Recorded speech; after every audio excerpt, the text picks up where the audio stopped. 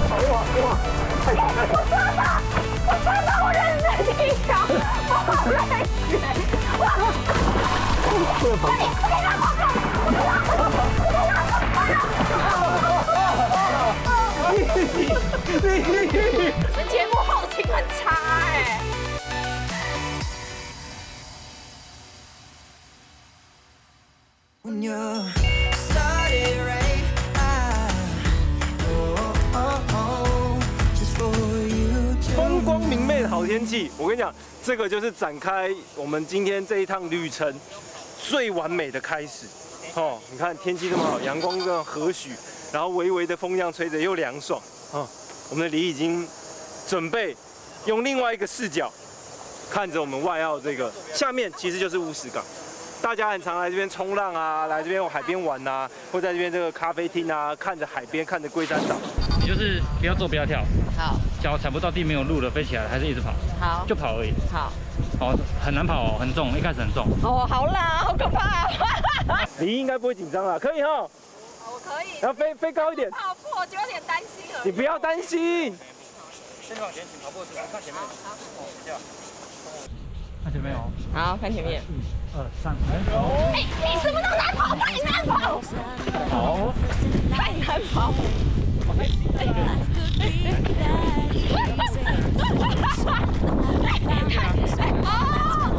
哇，这么神奇，这么神奇。所以你看李毅其实蛮轻的，哦，一出去以后瞬间又被往上带。哇，哎，今天风很大，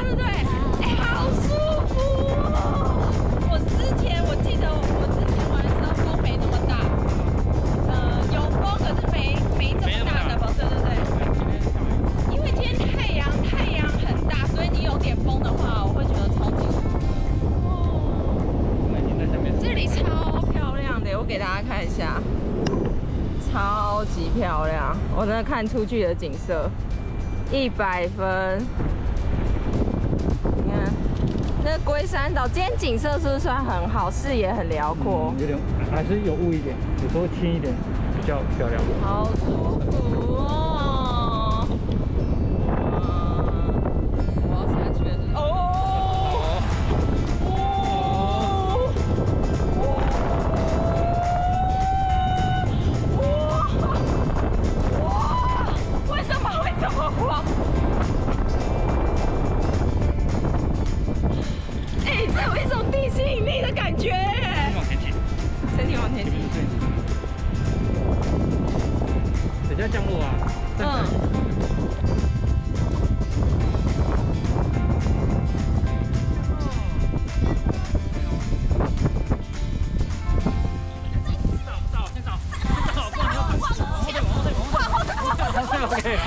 好，停了，停了，不用跑，不用跑。第一站带你从不同视角玩风宜兰，大胆从高空俯瞰美丽世界，无边界大海就在眼前。这样的开局是不是让人有着不一样的期待呢？这次我们就用超 chill 的态度，给你超放松的旅行。今天你今天这个天气其实算是不错，对不对？呃，风啊，太阳啊天气状，天气状况的话很好，对，但是目前的风的话，风向上是东北，东北风，然后不好吗稍稍微大一点点。那东北风太大对对，那东北风对我们来说的话，嗯对我们来说的话，比较不是很优的风向。我们最优的风向的话是在于东风跟东南风这样。北部地区的话，飞行季节的话是对，在四月到十月。四到十月对，，然后状况最好的情况之下，状况最好的情况之下是六七八三个月。哦，一样是接近暑假这段时间是最好的。对对对对对，因为八月过后九月的话开始可能会有台风，对然后可能又衔接了那个东北季风。对，对，那六月、七月、八月的话是非常稳定。就每个月可有效可以飞行的时间是最多的。对，是。好，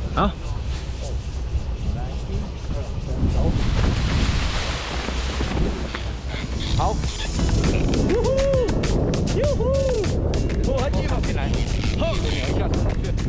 好，可以，你的左右手哦，这边各自靠台阶。好，哎呦，是哦，哦，好舒服，出去算顺的，刚才，呃，对，你的动作配合度算是相当的好。哎谢谢。身手也敏捷，所以就相对容易。教练，我好喜欢你讲话，说真的，这不是每个人都做得到的。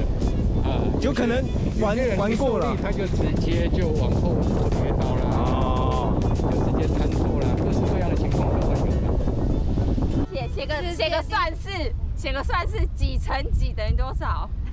你觉得怎么样？可以啊，写个算式，看看看。下来叫他解答。好写世界第一等。我现在在写字，你知道，小钢条要飞下来了。给他一个，你写完了，他就都已经到了。对呀、我的世界字我都写很久了。我写世界，我们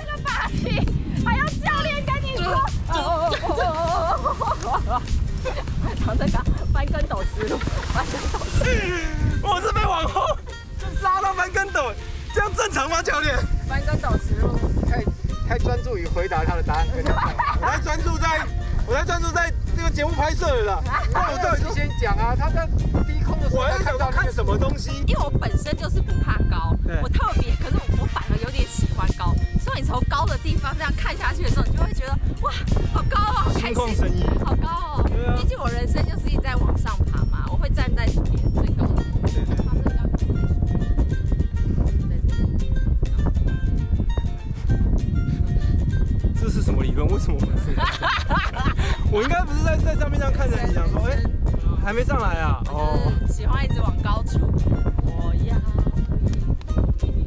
往上。哎五五五五五三五四五三加三四是多少？八七啊，八七。好啦，人生的路自己走，我就不打扰你，继续慢慢爬哈。我个人则是要快快前进，继续下一站的旅程。这次放松做自己。我打听到在宜兰礁溪有一间海钓场，可以体验钓巨无霸的龙胆石斑。看到这个环境，其实大家已经非常熟悉，因为第一等我们常常采集捕捞啊、钓钓鱼啊、东抓西抓都会。来这边。对对对对对。然后我想李已经来节目一段时间了嘛，嘿，对不对？你现在已经不是新手了什么离我很远啊？啊，离你很远了，是不是？就是我常放下去，一下子就会有鱼，但小缸都要过很久，这是我比较占优势的一个趴。没关系啦，就新手玉，他自己刚才都讲新手已经离他很远了，所以这个玉还有没有不知道哎我们今天比较不一样，大家今天看到这个词，好，这个词大家非常熟悉，就是养殖池，但是给人家钓鱼的。但是我们今天这个不是只是来钓鱼，哦，我们今天有特殊玩法，哎呀，有特殊玩法。等一下再让你知道，好不好？我们先请请出我们这个场场主，好不好？OK，来来来来，搞炸搞炸，厉害厉害厉害厉害厉害厉害！老板，先介绍一下你这个鱼池好不好？你这里面都有些什么鱼？比较基本的就是龙胆石斑，龙胆石斑对，龙胆石斑，多大？嗯，最大的大概是六十二斤，有六十二斤，六十二斤你要确定呢，六十二斤，斤。你有看过他本人吗？嗯，有啊，有有放的啊，你怎么怀疑人家老板？我，洗澡手也太大了吧！六十二斤啊！你还记得上一次那个我们连三十斤那个都还吊不起来，对啊，吊不起来耶，六十。六十三十斤呐，基本三十斤基，本是三十斤。三十我就很难拉了耶。三十斤，不要不要灭自己志气，好不好？你们今天你们来了，哎，一个小时内我们比重量，比总重量，好，那赢的有什么？有什么那？就把我今天的彩金给你们当成加菜金，哎呦，加菜金好不。好？财经财经多少？先平方彩金在那边目前的话是两万两万，万块，哎，那可以去吃去吃樱桃鸭哎。可以吃。可以吃满满的一整桌，拼了拼了拼了拼了！哇，这个不得了！耶说到高额加菜金，我怎么可以不参战呢？这间海钓场的人气超火爆，常常吸引各地的钓客来朝圣。钓客江湖传说中，这里无论年纪与经验，只要到了这里，保证你绝对收获满满。自我介绍一下好不好？叫什么名字？呃，我是小鼎，小鼎哦，哪个鼎？那鼎泰丰的鼎，鼎泰丰的鼎。哇，有常吃。哎，呦，岁哦几岁？十一岁，十一岁。哎呦，那你这位你叫小美女我叫 Peggy，P 哪个 Peggy？P E G G 你还问叫人家拼呐？想什么？我想问哪个 Peggy？哇，来几岁啊讲一下那个几岁？三岁。十三岁，哦哦，十三岁大。两岁，大两岁。你的战绩如何？你在这边站，就这讲这一词就好。六十二斤，哦你就是钓六十二斤的那个，你钓过那个？你看过他本鱼？你确定吗？不是有六斤二。斤，有六十二斤。六十二斤，你一个人没有人到啥缸？爸爸爸爸妈妈帮你拉的吧？没有啊，你自己拉。哇塞你这样拉了多久？三分多吧，你三分多钟把六十二斤拉上来，你这是什么时哎间？美国时间吧？你比小刚哥哥厉害好多哦！我天哪！哎，那换你换你换你，你你在这一次掉过最好的战绩，也是六十二斤，你也是掉六十二斤？多久拉上来？拉上来还是你自己拉上来？我自己拉，你自己拉上来的。对。啊，你这样多久拉上来？两分两分钟，我听到他说五分钟了，不好意思，我们三分钟略胜一筹。现在开钓前呢、其基本上他们的这个钓场都有准备这个十二，对对对对对，都有准备。哦，所以妹妹你就是用他们钓场准备的，竹夹鱼。直接用直接用。对，他说有钓客还会带螃蟹啊，会带一些其他东西来钓。哦，呃可以自己带带饵来这样钓。嗯、你今天有准备自己的饵吗？没有。啊，你有准备自己的饵？我有准备哎呦，哎呦，哎呦，可以这样。这一箱是这一箱是，哎，我帮你拿。哦，我以为这箱是你要拿来冰鱼用的。打开，哎呦，哇，拿可以拿起来看一下吗？拿一只出来看一下。而且是活虾，哇，这看起来好好吃，我们先穿烫好不好？这跟我昨天吃的大小差不多哎。这个是你平常钓的时候比较习习习惯用的，是不是？对，比较喜欢用活饵对。所以除了虾以外，你还会准备什么样的活饵？呃，有时候会用螃蟹、哦，螃蟹。果然跟你刚才讲，螃蟹是哪一种？是毛蟹，这么高级啊这？么好吃，用毛蟹钓啊而？且现在螃蟹季节，对对对，准备进螃蟹很好准备。季节了。对对对，嘿，一出手就让人叹为观止，竟然用这么高级的饵来钓鱼，嘿，这样会不会太伤本了？但两位小钓手的钓龄都蛮久啦，不仅经验老道，而且成绩辉煌。果然不出所料，一开始就有好消息传来。中鱼啦，中鱼啦！对面也中我，这太快了吧！哦哦，大只大只。你自己估计这一只这一尾大概？有十斤是不是？体型上看起来差不多。中鱼了，中鱼了！哎，很大，我看一下目测，十几，没有，可能要个三十吧，只有三十斤吧。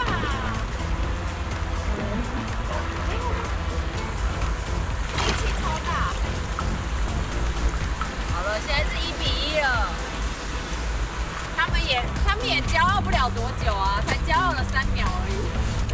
我累，你帮我看着我的吊，吊杆，跳高飞出去啊，没没吊杆。我行不行，这是最小的，这最小，这是里面最小的，这超大的，你跟我说最小。老板，这里不要不我玩，一起他。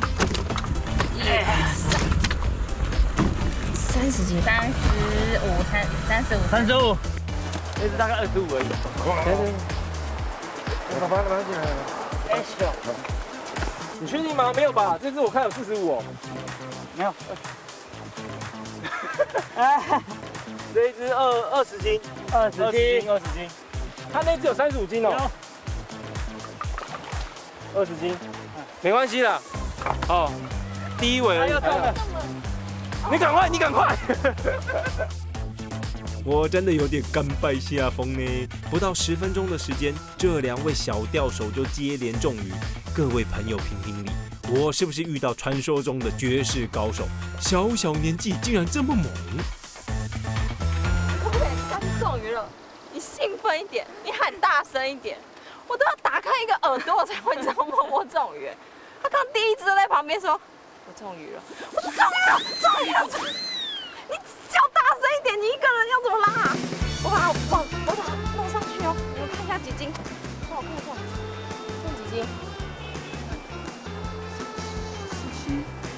小刚，钓不到，先回饭店没关系，你休息，我们来就好了。OK 的。好吵，怎么有人钓鱼这么吵？哎，钓鱼要安静，对不对？对啊，吵死了。享受这个悠闲的过程，好不好？又中鱼了！你看，他都讲那么小声，我不是说你讲大声一点吗？哦，大只的，大字大只，哇塞！要帮忙吗？不要。你有看到吗？他把那个浮标拿掉了，因为他刚跟我说他想要钓湖底的，他想要钓水底的。结果他浮标拿掉之后，就开始狂中鱼。不到二十分钟。对啊，不到二十分钟，我们中了三只。超大只，超大只了！他说很大只，他说超大只了。哇哇哇！吃什么？吃什么怪物的感觉？我天！好大，好肥，太肥了吧！我天，太肥了！嘿，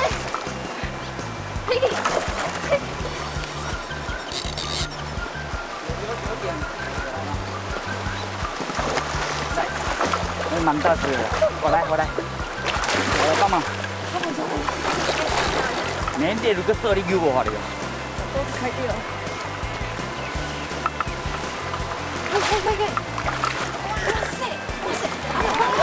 再一次，再一次。应该有，应该有四十哦。对。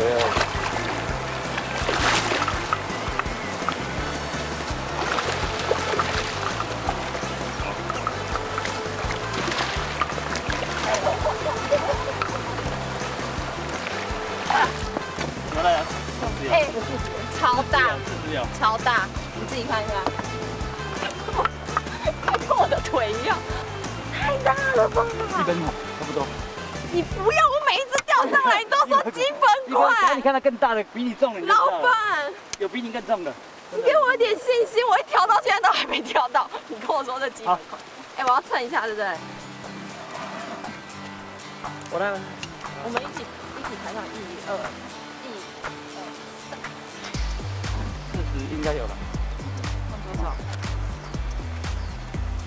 差不多三十三。哎，怎么办？我现在有点生存焦虑呢。我好歹也是闯荡世界渔场的男人，怎么样也不可以输给这两位小钓手。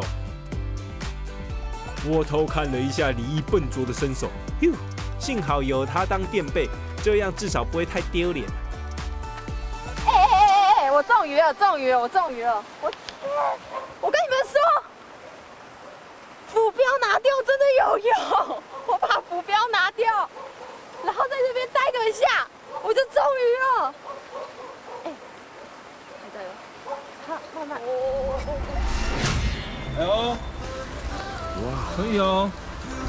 哦，这个尾巴可以，大只大只，这个大概被一百三十斤了。哎，两尾，两尾，两尾，两尾啊，两尾，两尾啊！要不要回去休息？网络版有英文哦，订阅按赞，开启小铃铛，就不会错过最大奖。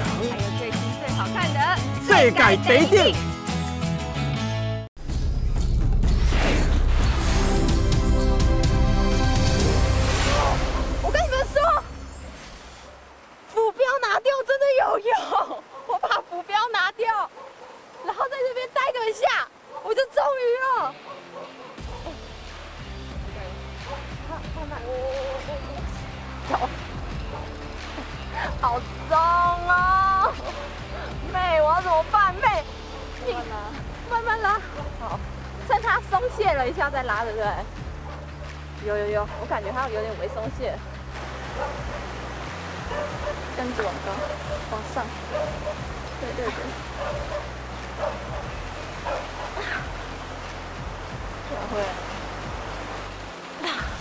中间。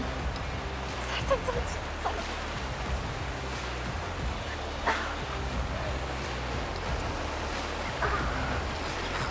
他差点冲出去了。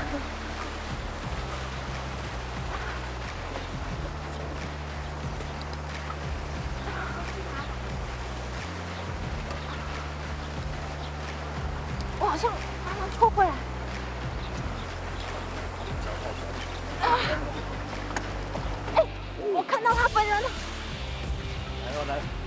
以啊，可以可以。哎，他在冲的时候不要卷，哎，哎不要卷，然后放低杆子放低卷三圈，好慢慢抬高，哎，他在冲的时候不要卷，好，撑着撑着，好，放杆子放低，再卷三圈，好，哎这，哎来来来来来来来。来，撑，我等等一下，我肚子跑掉。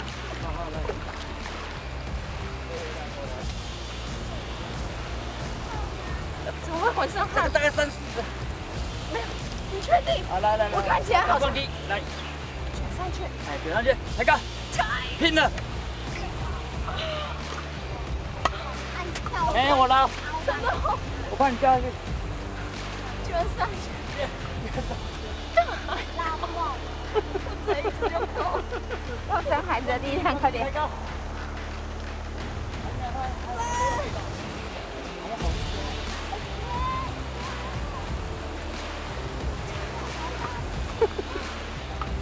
好累哦，老公。太美太美来了！我好累。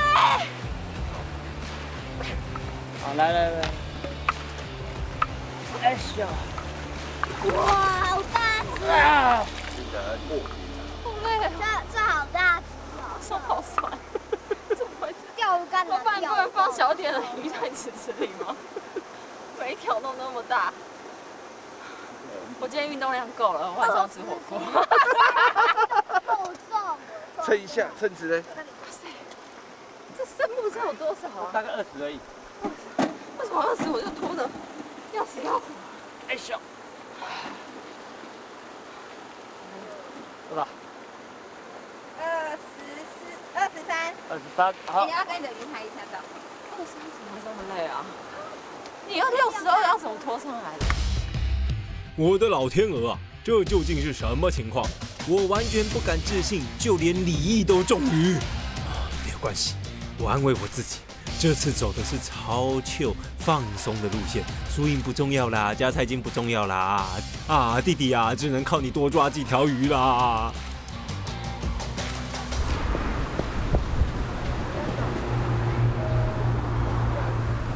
加油！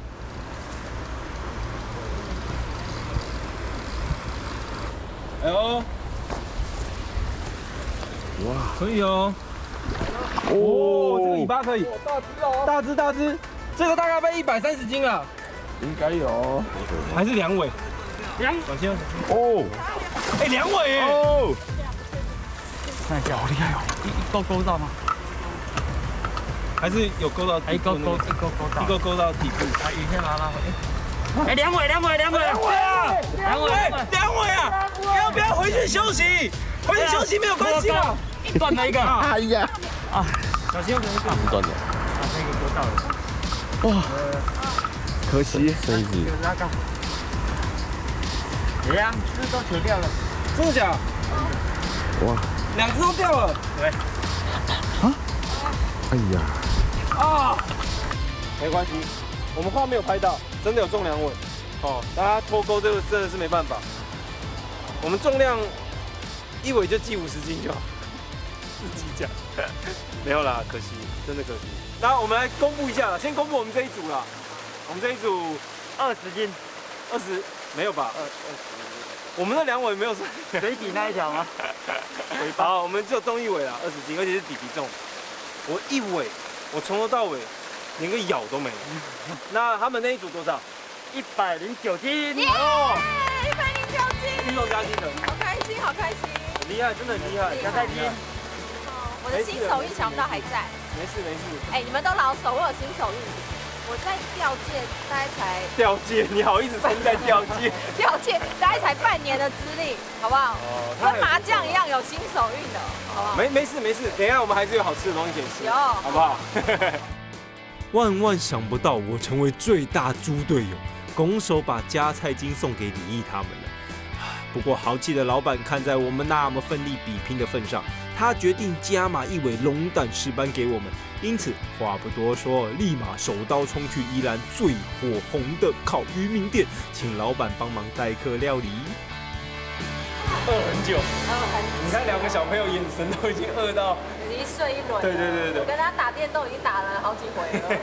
但因为啊，这个生意太好。而且吃饭时间，所以人对人客一直来。大家知道来温迪啊，就是非常有名吃那个烤鱼，但这边其实也可以代客料理。可以。对，所以我们就把我们刚才那个龙胆拿了一只小只一点。今天这两种吃法试试看好不好？他们这边的代客料理方式，来直接吃直接吃，怎么样？好香哦，是不是因为太饿了？皮有够 Q，然后它的肉质是非常的紧实的。好吃。它虽然紧实。可是我觉得算细致哦，然后它的鱼肉很厚，嗯，你完全可以吃到那个鱼的那个口感。八体，但是龙胆基本上拿起来活的嘛，是活的，直接处理。抓这个怎么弄啊？都好吃。嗯嗯。你看它的皮。海鲜就是新鲜就对了。新鲜就好，因为他们这边料理的方式其实手法很厉害。对。来，开好了。哎呀呀呀呀呀呀呀呀呀！刚烤好的，对对对，哦，修腾腾，修腾腾，而且你们这个盐分啊，跟那个鱼的鲜度刚刚好，刚刚好，真的是哦，水，你看不会感觉不会干哦，这个用盐巴包的，它的甜度对不对？对对对，它还会还有这块回回渗回去。给你了，没有事那一块是没有事的，我要吃这个，哦，很甜，你你这好甜啊，这个把你们土堆。烤到这么这么好，外面就就算盐烤也没有这么嫩，这么好吃，这么 Q。因为它最最主要的是盐巴要够够厚，哦，盐巴够厚。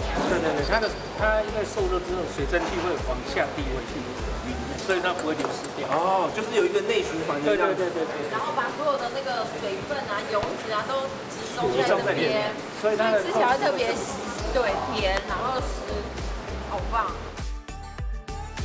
品尝了宜兰在地的美食后，既然这次走秋放风路线，想走就走，我们决定整组人杀到宜兰版的博朗大道来看看美景、散散步，体验一下最舒服的旅行节奏。今天这样骑起来非常的舒服，好舒服。对啊，凉凉的太阳，然后天气就是有点阴阴的，凉凉的，也不晒，然后有点风。然后四周都绿油油一片，心情很好，心情很开阔。但其实这边呢，叫做我们昵称为宜兰的博朗大道，是。然后它这边叫三奇美境嘛，嗯就因为它它像博朗大道，它是一条很笔直的大道，嗯，好骑。对，大家这边美境就是弯弯曲曲的，然后很多小径，你可以。延伸进去看到不同的风景景色的感觉。每个人拍出来的照片都会是不一样的。对对对对对对对。是每一个季节你看到会是不同的景色。对，有黄有绿，对，都不同的颜色。然后你弯到每个地方，其实感觉都不一样。而且你知道群山环绕，这样望过去，一座一座的山，你就觉得哇，视野很棒。对啊。五六月稻田收割前，一整片的黄金稻穗吸引着许多游客慕名前来。这里也会举办热气球与稻田彩绘，是宜兰必游景点之一。散步完后，我们打听到隐藏在宜兰里面有一个米其林主厨御用的高级食材。嘿，开玩笑，当然要去给他朝圣一下喽。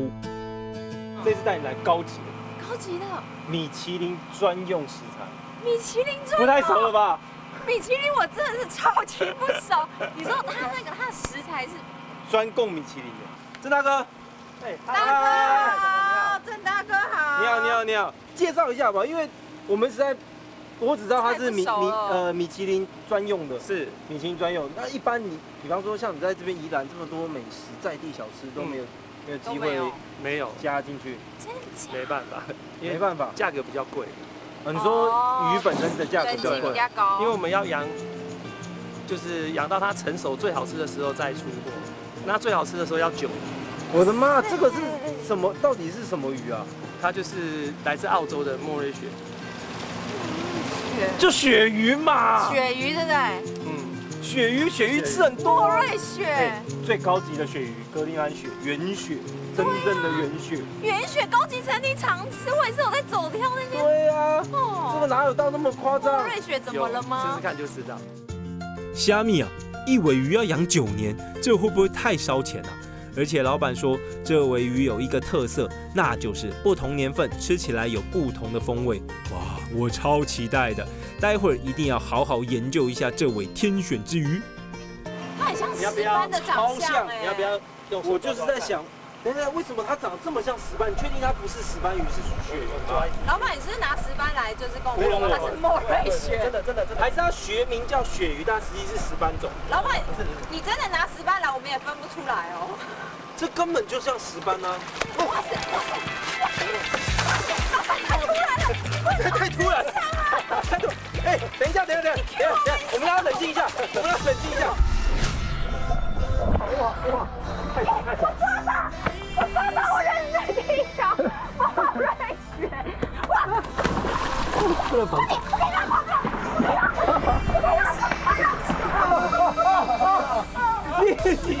你们节目后勤很差哎。网络版有英文哦，订阅按赞，开启小铃铛，就不会错过最大奖。还有最新最好看的最改得定。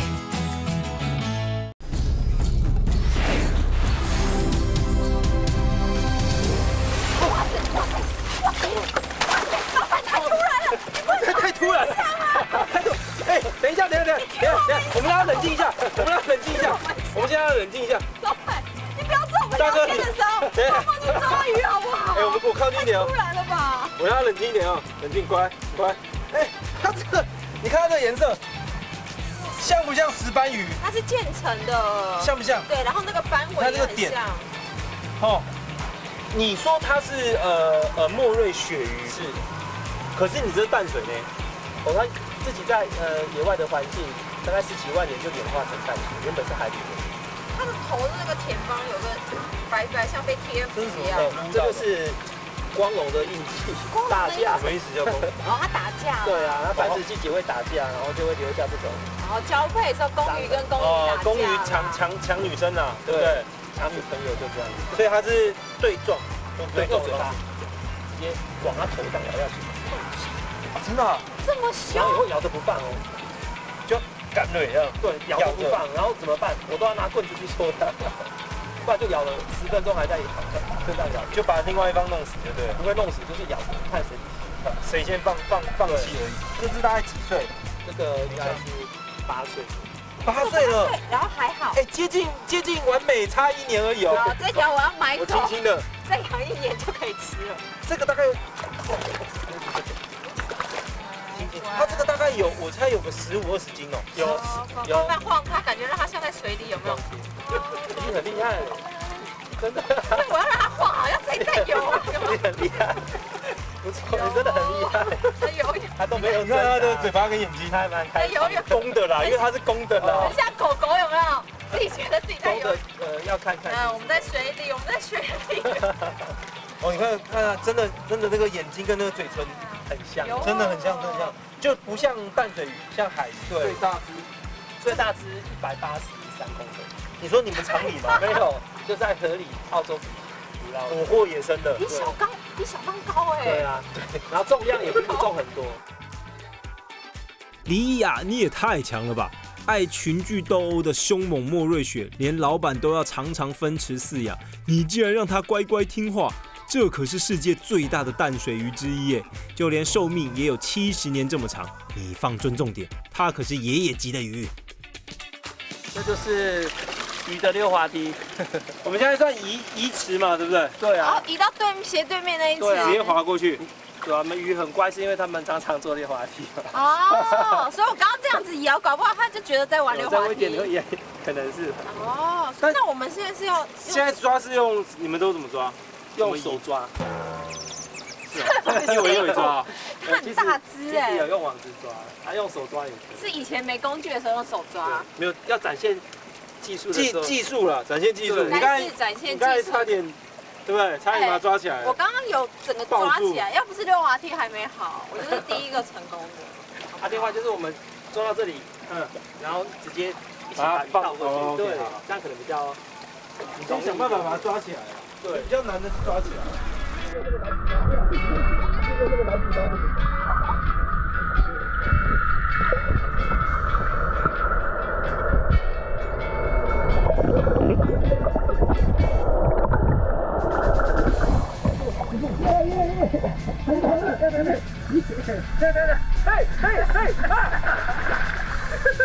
这边有拍到，还好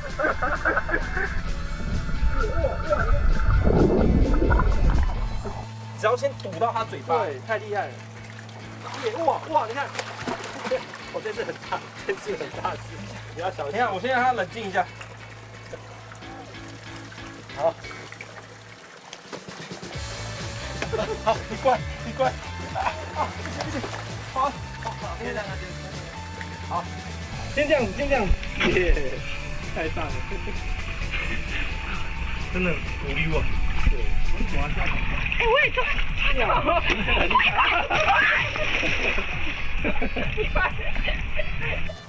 哎，这个还是要用篮子捞才有可能把它放上去你们。节目后勤很差哎、怎么都没有来接我。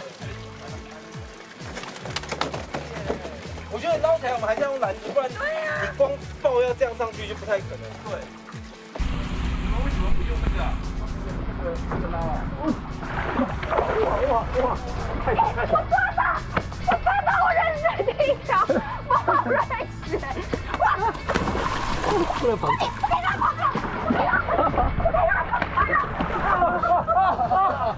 你你你你这个！我去，你知道这个这个有什么意义吗？大姐刚刚在跟你示范，哦，是是是是是。抓鱼的时候一定要小心，不要跟我一样。好好好，我我知道，这样我会小心的。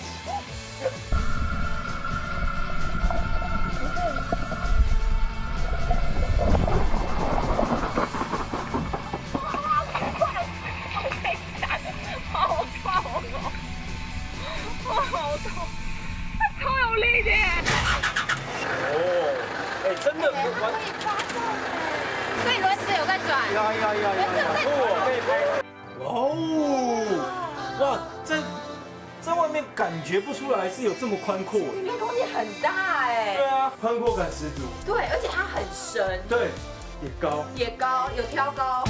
网络版有英文哦，订阅、按赞、开启小铃铛，就不会错过最大奖。还有最新最好看的最改贼定。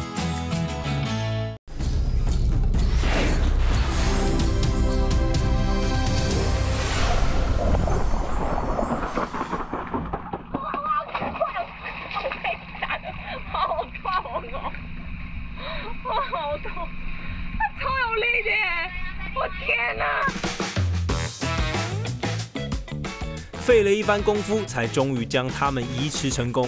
不过郑老板也说，除了澳洲原产地外，莫瑞雪本来就很挑剔生长环境，所以他费了十多年才在台湾成功富裕莫瑞雪。哎，脱脱掉都会有水声呢，我会不会倒出鱼苗？里面画出来，其实我们鱼苗长大概十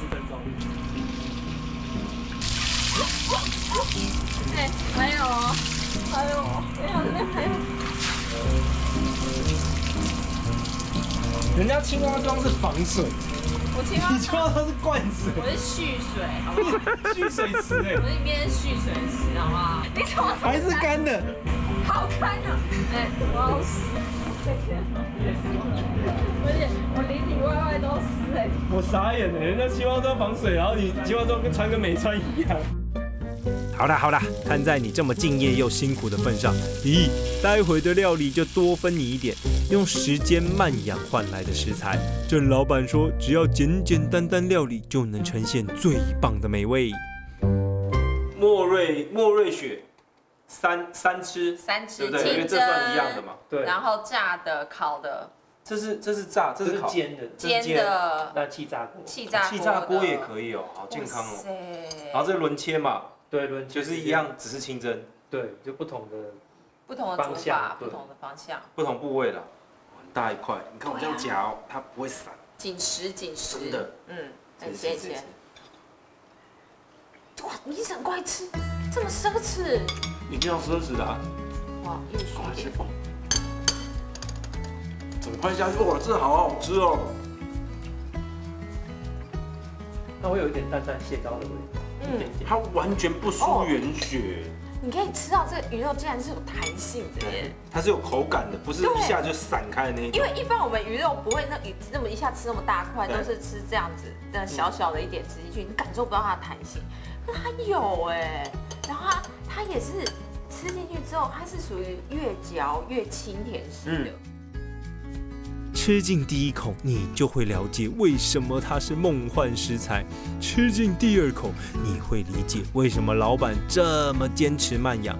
因为就是这么龟毛的态度，才能让口感如此令人惊艳。接着吃完米其林等级的料理，我们要去入住一间超级难订的民宿。这个这个好漂亮哦，对啊，是不是？哦，这个很像我在澳洲的时候开那个大型露营车，在露营车放大，版。露营车。他是老板还是工友？哎，老板吗？哎哎，你好，你好，真的，你怎么自己在？哎，陶哥啊，请人请人，你怎么自己这样子？老板，你房间较好玩。哦，自己玩呐？对。可是你会修吗？这个车子这样进来呃，，多多少少了，自己自己动手一下。网络版有英文哦，订阅按赞，开启小铃铛，就不会错过最大奖。还有最新最好看的最改得定。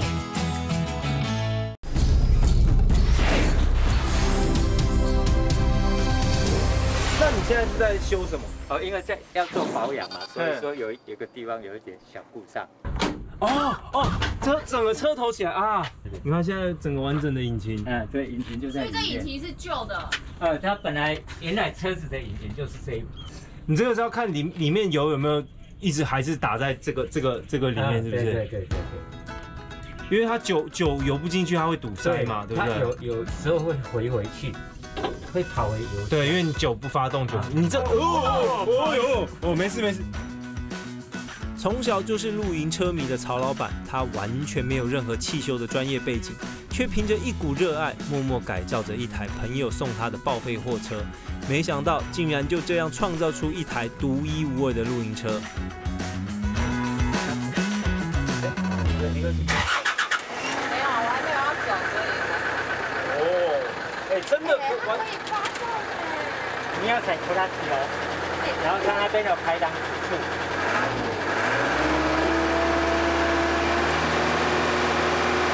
整个都在转的。对呀，那个声音，所以轮子有在转。有有有有轮子有在转。可以拍。